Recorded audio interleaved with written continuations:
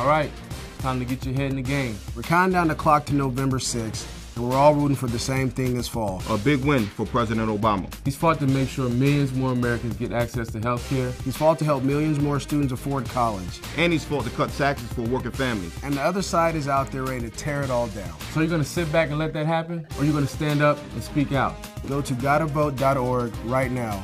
That's where you can register to vote and find out where, when, and how to cast your ballot. If you pass on the word to everyone you know, and they pass it on to everyone they know, Team Obama is going to be unstoppable.